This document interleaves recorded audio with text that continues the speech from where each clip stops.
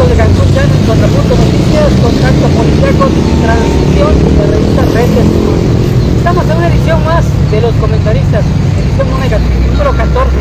Hoy estamos en un lugar, un lugar emblemático, Martín. ¿Dónde estamos ubicados aquí los comentaristas? Pues estamos sobre el parque de la seguridad, ¿Ciudad Vial? la ciudad vial, este, pues hoy nos tocó venir a este lugar, también porque el clima lo pre- se presta ¿no? para todo esto, este, hay un calor fuerte, pero no es penetrante, es algo agradable y qué mejor estar bien eh, emocionalmente y en todos los aspectos para poder informar bien sobre lo que están haciendo los candidatos a diputados y, y candidatas y candidatos a gobernador. Enrique Vial, ¿dónde está ubicado este parque de- temático de Ciudad Vial?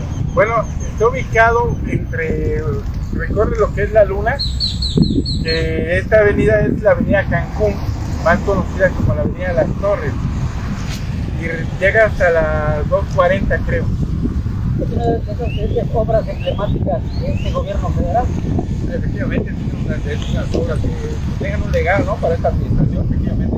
Esta es una buena obra, bueno, en lo particular opino, de que de- es- este parque, lo estamos viendo, representa como una vialidad, ¿no? Como se ve el vial, donde su- va, a- usted a traer a sus pequeños, lo traen de 5, 60, lo que sea, y aquí te simula una, una avenida, te simula una vía, te, te- te va enseñando poco a poco a los pequeños cómo circular en un sentido derecho, un sentido izquierdo, y cre- creo suponer, porque como, como hay en otras ciudades, que más adelante van a poner semáforos, porque también le ponen semáforos, en, en, en, en otros parques temáticos, donde les ponen semáforos y los niños van aprendiendo que, para qué sirve el rojo, para qué sirve el, el ámbar, para qué sirve el, el verde, ¿no? Claro, la importancia de no solamente aprender a conducir en este, este gran vial, que desgraciadamente muchos ciudadanos solamente saben manejar, no saben de educación vial. Eh, exactamente. Vamos a empezar el tema candente. Hoy estamos a día 3 de mayo, día de la Santa Cruz, día de la libertad de expresión. Sin embargo, ya pasa un mes y un día que iniciaron las campañas al gobernador. Y en un mes, ¿cuál es la percepción que traes en la mente? ¿Cómo has visto las campañas en un mes? Pedro, ¿no? De la revista Red Ok, bueno, buenos días. Es que nada, este, estamos viendo las campañas este, apagaditas. Apagaditas. Más que nada, eh, vemos que ahorita le están dando más a las redes sociales. Poca este, cercanía con la gente, pocos, eventos donde la gente vaya conociendo a su candidato. Entonces, y más presencia en las redes sociales es lo que ahorita la modernidad, esos políticos le están apostando. Ya no le están apostando al cansancio, a, a la confianza, a la cercanía Evita la fatiga. se evita la fatiga. Incluso decía la una candidata, ¿sabes qué? Pues yo fui a, a hacer mi campaña aquí por la, por la por paraíso. Sí, eso es para eso. Dice, que estaba caminando y de repente empezaron los balazos. Dice, no, pues mejor lo hago por las redes sociales. Por aire, ¿no? Exactamente. Y eso, pues, eso tiene molestos a la gente porque definitivamente no conoce realmente cómo es la persona, qué es lo que le gusta conocer a su candidato. Martín Vázquez de la revista Contacto Policiaco. Un mes de campaña, ¿cuál es tu percepción? Un mes, un día, ¿verdad? Efectivamente, eh, como comenta el compañero Pedro, están apostando a las redes sociales porque pues ahí no te cansas, ahí puedes hacer Photoshop, ahí puedes este, tener una multitud de gente y poner tu fotito para que digan que tienes miles de gente. Es- es- esa es una de las magias de las redes sociales que se puede eh, manipular al antojo dependiendo del diseñador y de la calidad del diseñador. Como se hacía antes, ¿no? Este, en las revistas y todo, se hacía eh, ese tipo de diseño donde podías poner todas las fotos y, y en medio la, la del candidato y dice, tengo miles de gente, pero en realidad eh, están volviendo a los candidatos flojos, están volviendo a los candidatos personas no gratas al ciudadano, porque si ellos no van a donde tienen que estar, pues nadie los conoce. ¿Y cómo es que llegan los votos?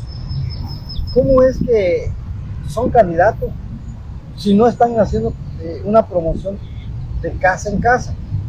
Hay algunos que sí lo están haciendo, tanto como candidatos a gobernador y a gobernador, candidatas y candidatos a gobernador, como candidatos y candidatas a diputado local. Entonces, la importancia, la importancia de, de todo esto es que cada uno de los candidatos sean conocidos. ¿Qué pasó en Chetumal?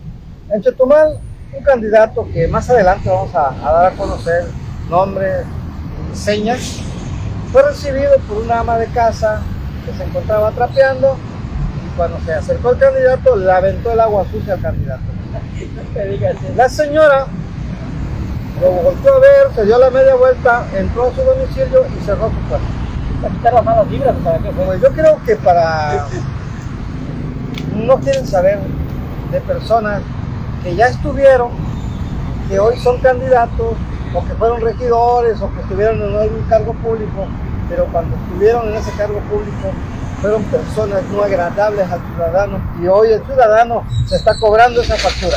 Piensa que los ciudadanos pierden la mejor No es cierto. El ciudadano es como el político que decía antes. Deja la factura ahí. Pasaba un año, dos años, tres años, de repente se te ofrecía algo llegaba, oiga que me urge, sácame la factura de Pedro no. A ver, debes tanto aquí, Pedrito, no hay para ti. Y así el ciudadano está ahorita. Viene el candidato, ya sea o candidata a gobernador, a gobernadora o candidato a gobernador. Ah, tú debes esto. Ciudadano dice, no hay voto para ti. Enrique ¿cuál es tu opinión a un mes y un día del inicio de las campañas a gobernador? Pues vemos que el ataque contra Mara sigue y sigue por parte del doctor Pech y todo muy fuerte. Habíamos platicado en programas anteriores que los candidatos a diputados están caminando, la gente no le está respondiendo. Muchos de ellos ya fueron diputados, ya fueron funcionarios y no hicieron nada por la ciudadanía y ahorita de una de un rato a otro ya dicen que van a ver seguridad, que van a ver que hagan calles, que hay que ver que hagan parques, pero cuando ellos estuvieron no hicieron nada. Y no abogaron y no defendieron a nadie, se volvieron unas cuando ellos llegan al poder se volvieron unas personas déspotas y prepotentes muchas veces. ciudadanos. Y hoy el día del pobre factura que dice Martín está evidente, la gente no les hace caso, la gente no sale a platicar con ellos, la gente hizo más de lo mismo, no. luego lo hacen a las horas del sol, menos. Decía Pedro no hace rato que han estado invirtiendo a través de las redes sociales. ¿Ya han visto las cifras estratosféricas que han desembolsado para pagar Facebook e Instagram? Exactamente, en, en transparencia se está moviendo por medio del Face.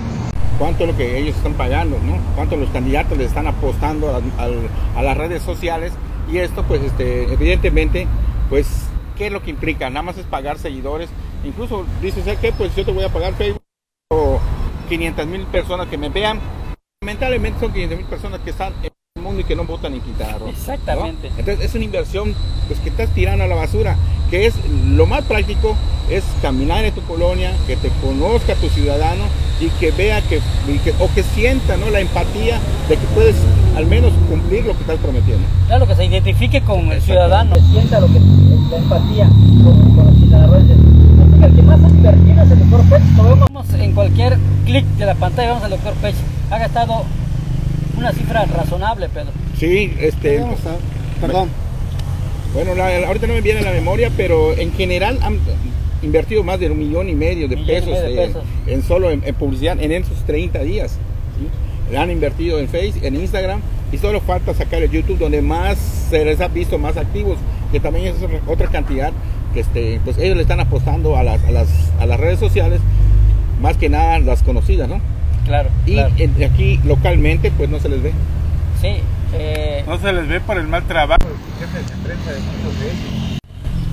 Que son incapaces de operar un trabajo bien en el aire para los candidatos y están pagando publicidad para que los vean gentes de otros estados, de otros países, menos la gente local, que nos debía de interesar. donde Donde tendría a que interesar la inversión a los quintanarroenses, pero muchas veces de los mismos jefes de prensa que muchos son compañeros periodistas, pero carecen de la experiencia para manejar redes sociales. Ayer estuve platicando con un, bueno, como siempre lo hacemos todos los días con ciudadanos y él, bueno, él mismo hace el comparativo, ¿no? Así como lo hacemos nosotros igual en, medios de comunicación, te pones a interactuar con... Bueno, pues es evidente que Mara tiene la gente, tiene las mayorías. Dice él, pues la otra vez estaba yo caminando, me bajé y me acerqué y vi que era este, Laura Fernández y lamentablemente no tenía gente, dice, chica, iba caminando casi sola. Entonces, esto, aunque lo digas en las redes sociales, aunque lo digan los periodistas, la, la situación es evidente. La que tiene las mayorías en este momento es Mara Lezama y pues esta es lo- la número uno, ¿no? Y como comentábamos, ahora, ¿quién es la número dos? Porque incluso la dos ya se desinfló.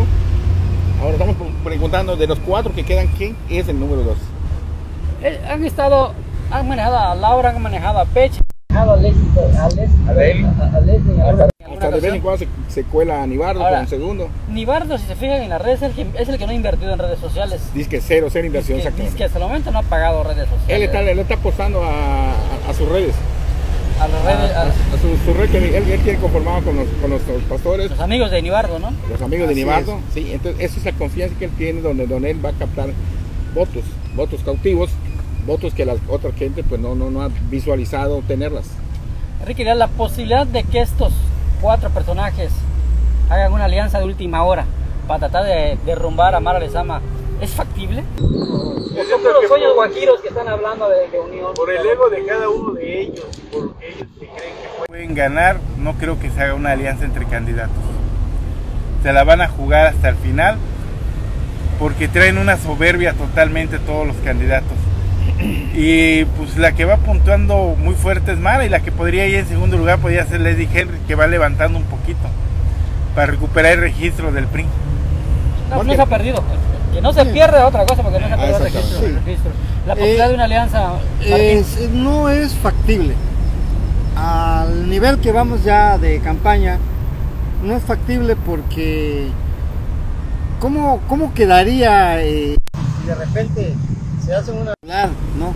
y de repente se hacen una alianza entre cuatro partidos o, cuatro candidatos? ¿Quién va a puntear? Si todos quieren ser gobernador, entonces mejor se van a quedar al final porque dijo Enrique efectivamente el ego de cada uno no les va a permitir que todo eso. Que uno dice que, que va adelante, que, que cada día va subiendo mucho, pero es un dicho nada más. Eh, vamos a hablar del doctor Pech, que dice que ya se les están uniendo los, los, este, los exgobernadores. Y la verdad es Jesús Martínez Ross, y la verdad, este, el hecho de que se haya tomado una foto con, eh, con otra persona. Dante Delgado. Y, y- y Dante Delgado, efectivamente, que es amigo de Jesús Martínez Ross, y él fue a saludar a Dante Delgado, no fue a saludar al doctor Pech. se aprovecharon del Y el momento. doctor Pech dijo, se une conmigo Jesús Martínez Ross, exgobernador. Pero yo creo que el exgobernador tiene bien definida su situación. ¿Por qué? Porque él en un video, eh, precisamente con el ingeniero Mario Villanueva. Mario Villanueva, exgobernador también, de su voz propia de Amara Lezama. Y apoyo a Lezama. Y no ha habido otro video donde desmientan que están apoyando al doctor Pech. Eh, pues yo sí sería importante, interesante, ¿no? Que Jesús Martínez Ross, eh, pues saliera y dijera, no, no es cierto, o sí es cierto, pero tiene que decir algo. Sí, Jesús Martínez Rosas el- fue el primer gobernador de Quintana Roo. Eh, Así un es. hombre con mucha experiencia, pero igual ya con muchos años. Y, y que, ha aprovechado su figura por cualquier político para, para Ah, llevar votos a, la, a su favor. Pedro, tú ya tuviste la oportunidad de platicar con Leslie Hendrick. ¿Qué te dijo Laura?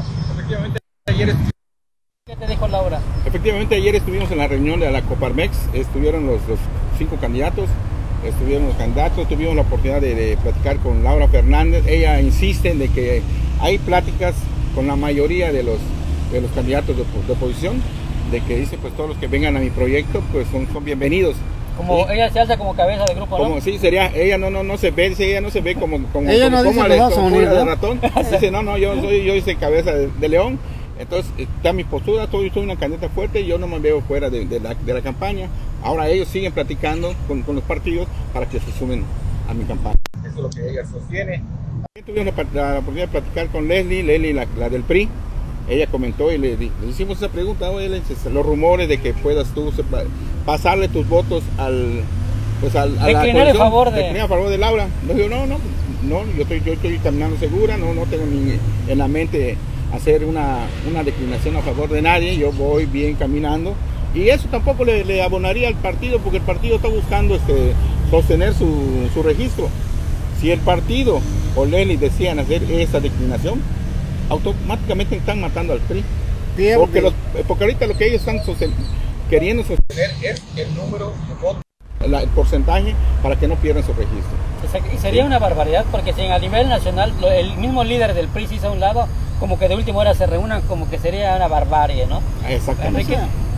Sí, suena imposible la alianza entre partidos, porque es como dice Pedro, están en juego los registros. Si el MAS se suma, Ujú. perdería el MAS el registro. El PRI igual, También. Convergencia igual. Entonces, PRD. el PRD sí va sumado al PAN y a Confianza, pero, pero los demás partidos está es en- Entre imposible. los que pueden perder el registro, no creas que la tienen fácil. ¿sí? ¿sí? Lamentablemente, Enrique, esta situación este, es una, una forma de tratar de envolver al ciudadano y decir, híjole, entonces ahora por quién voy a vo- a votar, lo, lo- lo pones indeciso, ¿sí? Y dicen, y Laura Fernández sale a, a- a relucir que ella quiere ser la cabeza principal y que ella quiere ser la que va a liderar a los otros tres candidatos, pero pues los otros tres también quieren. Yo no creo que el doctor Pech no quiera abanderar, si- digo, en una casa una alianza, el doctor Pech diría, no, yo me hago a un lado. Ah, para cierto dicen, no, no, ellos quieren ir a la cabeza. Claro. No, dicen, no quieren a, a- en la cola. Dicen, no, no, sí voy a ir a, a la cabeza. Nunca ellos se están viendo por la parte de Por eso decíamos los egos Pero- de cada uno de ellos. Sí. no va a permitir esa alianza. Y también, de, también aquí hay algo muy importante, las traiciones y los traidores. Si tú eres gobernador y otros tres, oye, es que tú me prometiste, es que no me acuerdo. Ahí vienen las traiciones de los traidores. ¿Y por qué hablo de traidores? Porque el doctor Pech traicionó a Morena yéndose a otro partido buscando únicamente su bienestar personal buscando el poder para que no metan a la cárcel a su hijo de la gran estafa. Eso es lo que está buscando el doctor Pech, porque de ahí para allá no creo que llegue más, sino que cada día va más para abajo. No, sin duda alguna yo creo que la alianza, la alianza son sueños guajiros, yo no creo que se concrete, son solamente patadas de ahogado para ver qué pasa en, Ajá. en- en el, en el sistema político. Lo que es lo que decía Leli, dice, pues, es que ese, ese grupo, ese partido no busca cómo, cómo figurar. ¿sí? No busca cómo figurar, lo que es un invento de ellos, nosotros no... Refiriéndose a- a- a- al Ah, PAN ah, PRD. sí, a la Alianza Bajo.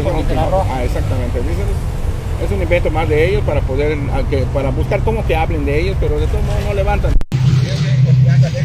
Hacen que siga aumentando su, su presencia este, entre los votantes, lo mismo que hace Pech lo mismo que hace Nibardo. Nibardo, que como tú dijiste, no, él no, no le está apostando a las redes sociales, también se maneja en las redes sociales, pero no está pagando. Él está caminando, yendo con su gente, haciendo cercanía, como, como le comentamos pero le di- diciendo hace rato, él está haciendo presencia, ¿no? Está cercano con la gente, como siempre lo dicen ellos, cercano con la gente. Y ahora no vemos ese, ese tema más que con Ibardo y más que con, con, con, con Lezama, con Mara Lezama. Este, Laura pues no se le ve mucho. Incluso se comenta y se dice, la gente se extraña, ¿por qué no ha ido a Puerto Morelos a... a- ¿Por qué será? ¿Por qué será que no Porque por la corren, le van a echar agua sucia como al, Ah, al- al candidato. candidato a diputado de Chetumal. Dicen, yo, yo leí ahí de porque estoy, estoy agregado allá con los grupos, dice, estamos esperando que venga Laura. y A lo mejor le van a aplaudir, pues, siguen a lo mejor le van a dar un abrazo, un beso, no lo sé. No dijo para qué. Nos van esperando con los, con los botes de agua. No, es que no dijo para qué, estamos Ah. esperando que llegue Laura, pero no digo para qué. Sería interesante ver cómo lo recibieran, ¿no, Enrique? ¿Cómo la reciben en Puerto Morelos? Porque sí hay mucho coraje, mucho rencor de muchos de los De los pobladores. Morelos. Tomando en cuenta que cuando también hicieron el parque agredieron a mucha gente, Sí, detuvieron el gente. antiguo. Ah, Entonces, kiosco, ¿no? Sí, ese kiosco Las que nunca facturas se van a cobrar. Sí, ahí la gente está muy indignada. Hay mucho, Sí, mucho ella, decía- coraje. ella decía cuando puso su demanda, no, estoy muy, este, estoy muy este, indignada, estoy- me siento agredida. Entonces, cuando ella fue gobierno municipal y, y ocurrió eso en el kiosco, ¿cómo, ¿cómo habrá pensado en ese momento? ¿Cómo se sentiría esa gente que agredieron? ¿no? Que defendían su parque, en, su, el kiosco emblemático, dijeron, no, pues esto es una reliquia, ¿no? No puede ser que sea tirado, al contrario, que lo remodelen, no lo tiren. La gente las golpearon y ahí pues se le olvidó eso, ¿no? Lo que hoy reclama ella se le olvidó hacer justicia contra la gente esa que, que golpearon en ese momento cuando ella fue presidente municipal. Es correcto. ¿quería un último comentario? Pues hay que ver cómo van los trabajos de los candidatos. sí hay una mala imagen de muchos de ellos por culpa de sus voceros que no están aterrizando los trabajos en el aire, en redes sociales. Y lo cierto es que ya les queda poco tiempo y tienen que apretar el paso. Y más los candidatos a diputados que andan todos perdidos, no se sabe nada de ellos, ni en redes ni en las regiones. Promesas, promesas y más promesas es lo que dicen los voceros de los candidatos. Ahí se me El vocero del... pues Yo, yo tengo la costumbre de, de llamar a las cosas por su nombre.